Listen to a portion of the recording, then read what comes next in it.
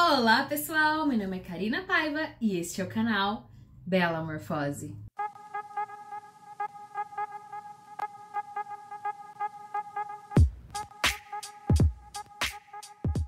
E no vídeo de hoje, sim, vim trazer para vocês resenha de batom, mais uma resenha de batom aqui no canal. E dessa vez eu trouxe os batons novos da Max Love, as novas embalagens.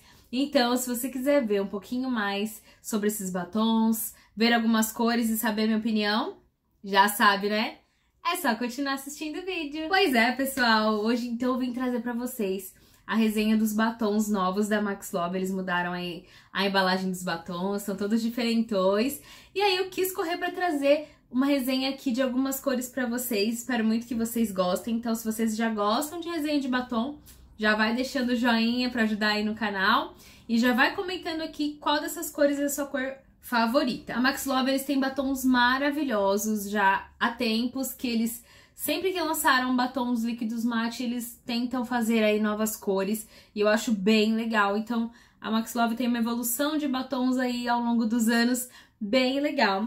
Inclusive, trouxe aqui para vocês, para vocês darem uma olhada de como eram os batons e como que eles estão hoje, tá? Então, quem lembra aí dos batons antigos, que era dessa embalagenzinha, ó, pequenininha, né, bem tradicional. Essa aqui é uma cor que eu usei muito, inclusive, que é a Brum, que é esse tom de marrom. Era difícil de achar na época.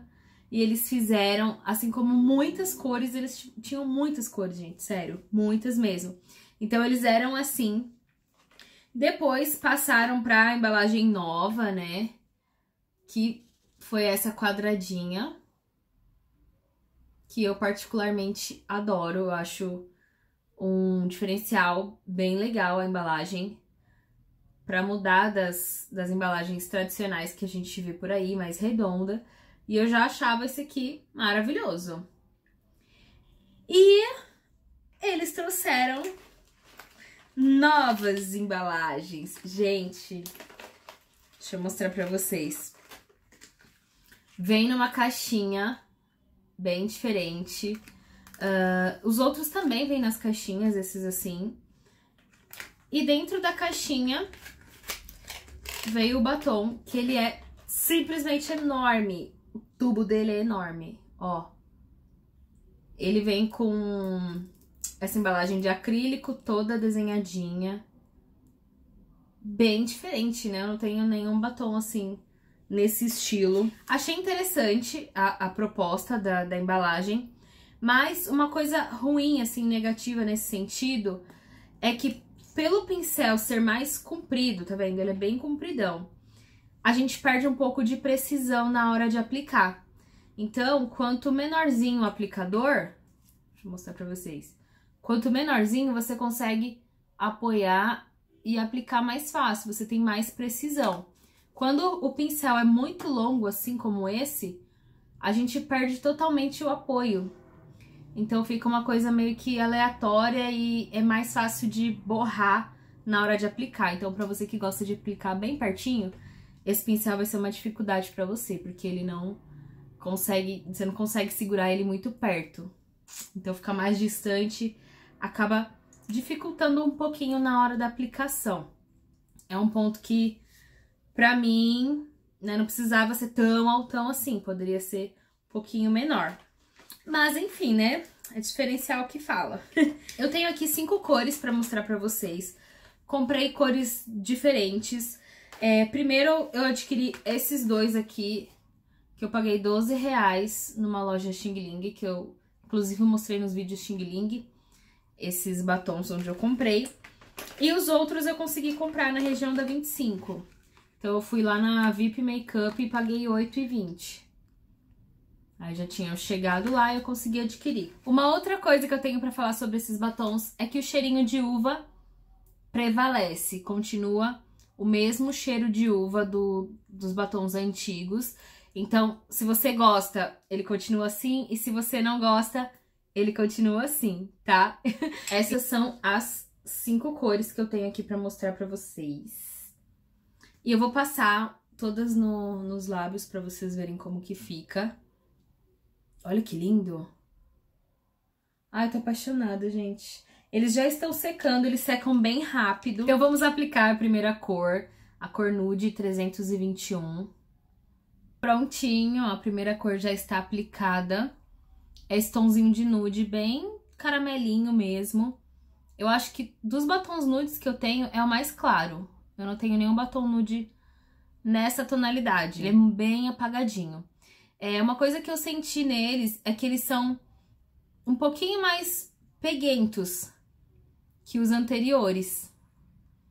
Ó, vou dar um zoom pra vocês entenderem o que eu tô falando, ó.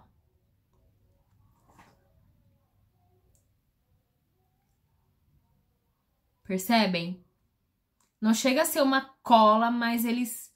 Quando você tá falando assim, você nem percebe. Mas se você apertar um pouquinho, eles dão uma grudadinha assim. Essa é a primeira cor, vamos para a segunda cor. A segunda cor que eu vou aplicar é a cor 313, que é o tomzinho de rosinha. Ele é um rosa meio salmão, meio goiaba. Muito bonito. E olha aí o segundo tom. Esse tom mais rosadinho pro dia a dia, sabe? Você que gosta de sair com um batonzinho mais discreto, mais rosadinho. Não chega a ser um nude apagado, mas também não chega a ser um rosão, sabe? Bem bonito. Terceira cor, então, agora a cor 43, que é o tom de Bordeaux. Esse marrom com vinho, puxado pro vinho. Olha que tom bonito! Nossa, é um marrom bem bonito mesmo. Muito chique. Batom muito chique. Batom de rica esse, eu gostei. Próxima cor, então, é a cor 319, que é o tom de rosa. É, eles têm bastante cores em tons de rosa e vermelhos também. Uh, mas esse foi o tom que eu achei mais bonito. Tem uns mais escuros, tipo mais roxinho. Tem os rosas um pouco mais claros. Eles têm uma variação de cores, assim, gigantesca. Mas dos rosas, esse é o que eu acho que vai ser mais a minha cara. E acredito que vai ser um dos meus favoritos é, dessas cores que eu tenho. Que eu amo rosa, né? Vocês sabem. Então, vamos lá.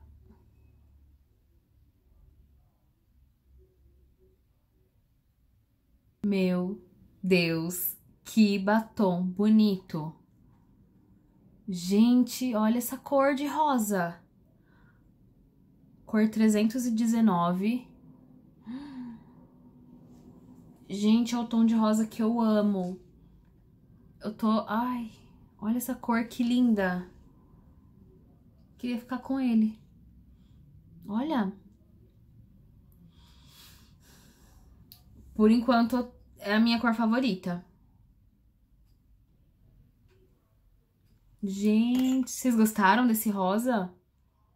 Ele não chega a ser um rosa tipo pink. Ele é meio roxinho, sabe?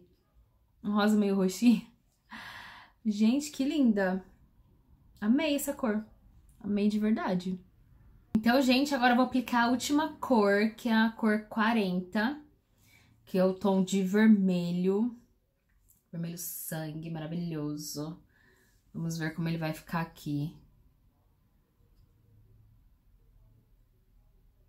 Oh, oh, oh.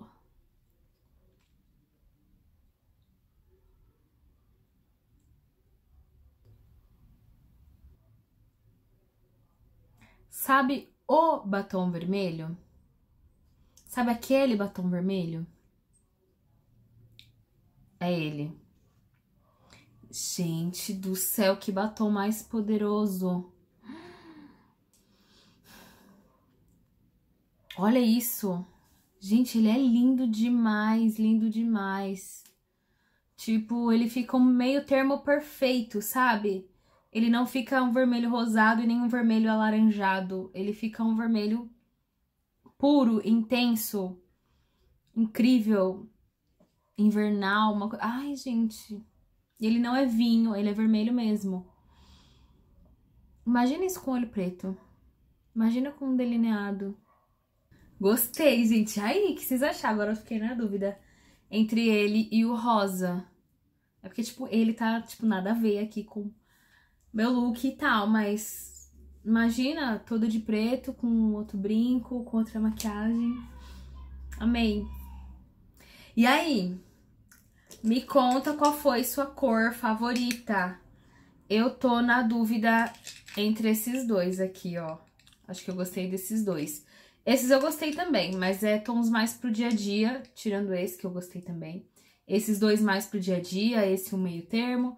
E esses assim pra arrasar, aquele look bem pá. Acho que vai ficar bem bonito. Mas enfim, é... o que eu tenho a dizer aí sobre os batons? Gostei sim, bastante. É... Continuou com a qualidade que eles têm. Só senti mesmo que eles estão um pouquinho mais pegajosos e mais molinhos comparado com os anteriores. A duração é maravilhosa, eles grudam muito bem mesmo nos lábios, grudam bastante.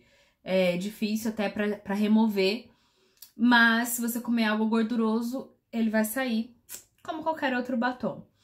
Mas só de comer qualquer coisa assim, mais sequinha, não, não sai não, pode ficar tranquila. Um, com relação a custo-benefício, eu acho que vem bastante produto por um preço muito acessível. Uma vantagem também é que eles são fáceis de, de achar, né, de encontrar. Você encontra tanto em várias perfumarias, em muitos lugares. Max Love tem um stand, tipo, em qualquer lugar tem um stand da Max Love, entendeu? Então, não só na 25, mas em perfumarias, lojinhas de bijuteria. É, às vezes você acha, tipo, uma lojinha aleatória tem um stand da Max Love ali. Então, a vantagem é que você acha muito fácil os batons da Max Love ou qualquer produto deles, tá? Então, é uma outra vantagem muito legal. Qualquer pessoa em qualquer região do Brasil consegue achar. Então, às vezes tem coisa, ah, só acha na 25. Esses não, Max Love você encontra em muitos lugares. Um, então, acho que é isso. É um batom que sim, está aprovado, gostei. Tirando, acho que os tons mais claros que eu achei que evidenciou mais as linhas, assim, sabe? É... Mas, de repente, pode ser também pelo frio, a boca acaba ficando um pouquinho mais marcada mesmo. Mas amei as cores, eles têm muito mais cores, então eu amei a diversidade de cores que eles têm. Então, vai atender qualquer pessoa, qualquer gosto eles têm batons para todos os gostos, sim. E alta pigmentação também. E durabilidade boa e preço bom, então assim, é, pode comprar sem medo que você vai gostar.